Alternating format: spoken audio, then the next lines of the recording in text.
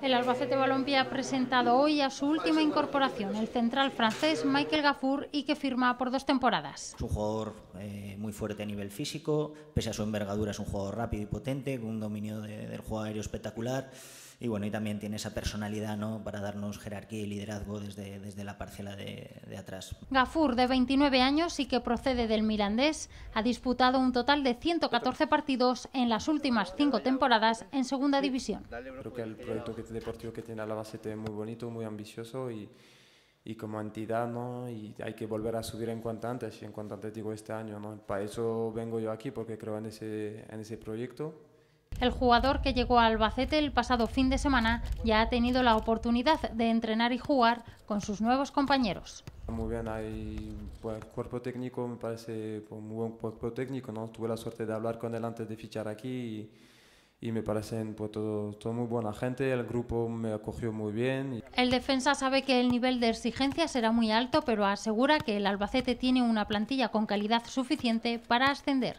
Es altísimo, obviamente, claro, que estamos en un club que, que, no tiene que estar eh, en segunda B, entonces en cuanto antes lo, lo, podamos volver a meter donde se merece.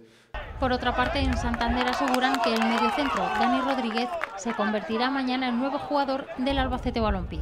Hoy le hemos preguntado a Víctor Moreno por esta cuestión, pero prefiere ser cauto. Pues lo primero que tengo que decir es que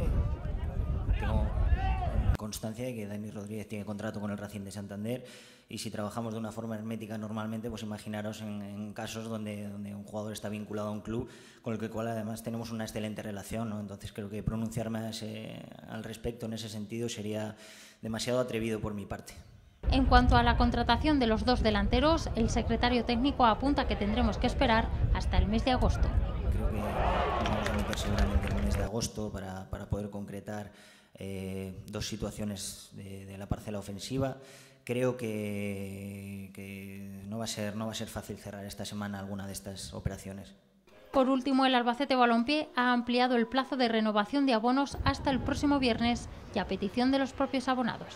Y lo que pretende el club, o lo que quisiera el club, lógicamente, es llegar a la cifra de 6.000 abonados a final de esta semana, a final del viernes, que es cuando se cierra esta, esta promoción. Es difícil, es complicado, pero la verdad es que eh, estamos gratamente sorprendidos y agradecidos por la respuesta de la afición. A día de hoy el Albacete Balompié cuenta con algo más de 5.000 abonados.